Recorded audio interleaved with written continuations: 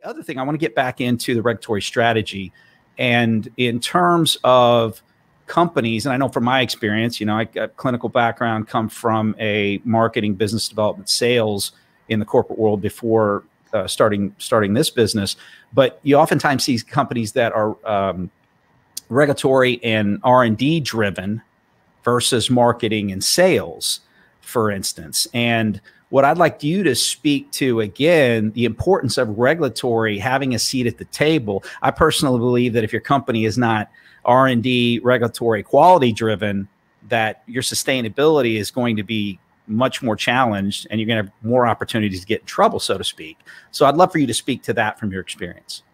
So I have a lot to say on this topic, and and uh, the first actually is is the most important, and and because we hear a lot when we talk about medical device companies in particular, is either being sales or marketing driven or R and D driven, mm-hmm. really product focused or really market focused, but 100% of all businesses are profit focused and you yeah. we need to make money and so i know we and we can do that by you know by helping patients have high quality you can have these th- these things but at the end of the day we need to make money so whatever strategies we decide on they need to be intelligently planned such that at the end of the day we're a profitable business so um, i i came to this actually i did take notes uh, i wrote some notes uh, on some topics that get missed a lot and I'd like to bring up because they're really important for strategy.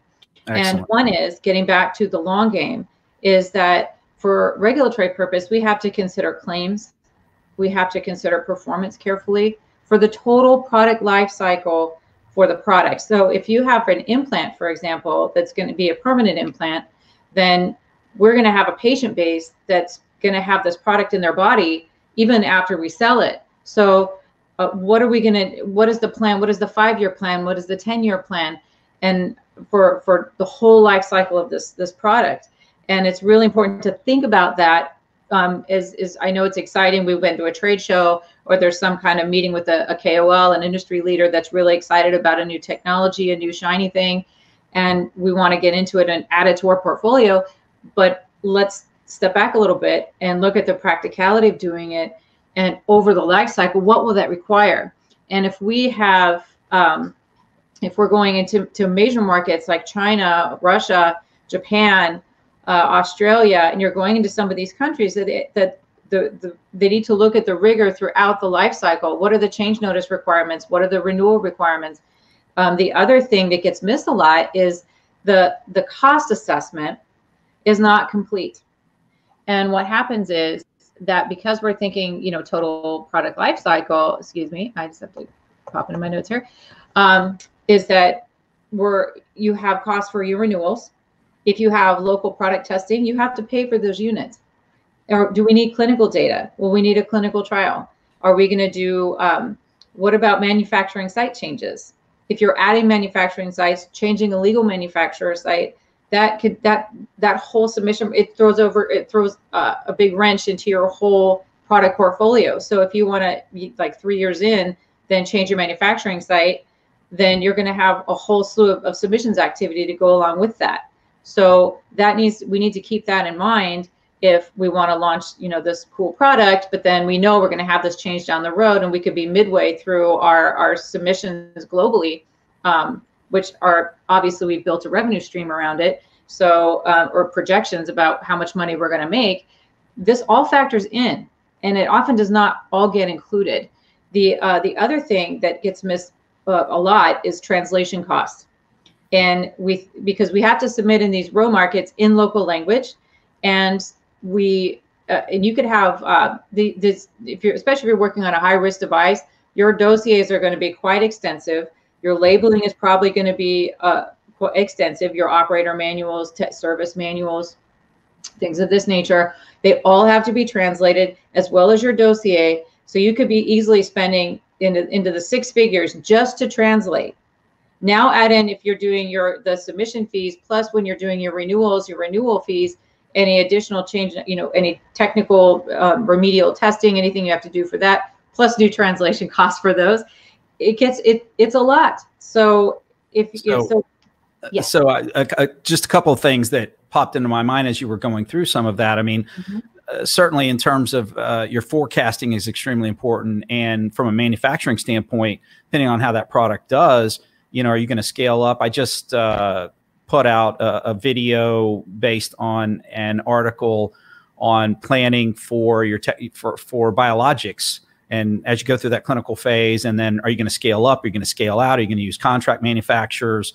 um, the challenges with the technology transfer. So you're talking about from that standpoint, if you don't have enough space, and a lot of a lot of times people start and then they'll transfer, you know, overseas, for example. So all that complexity, you got to be aware of of what that looks like up front. Because um, again, from a cost standpoint, from an efficiency standpoint, it's extremely important. That's true. And then and what you're touching on is also getting into sub to subjects like rules of origin which are important for your your customs, but also for your labeling, and um, as well as for for manufacturer site qualification, which is um, there are some countries that will say, oh well, this product is made in say China. We don't trust that quality, so we won't allow that here. And so, or they're gonna they're gonna want to audit wherever that supplier is. And I've actually experienced that before. And so we need to be we need to be careful and and do full full vetting uh, before we implement big changes like that. Um, the last thing to consider too is if the country requires local, like post market uh, support, do you have to have a local agent? Do they have to do post market reporting? Do they have to have a QMS framework there for distribution?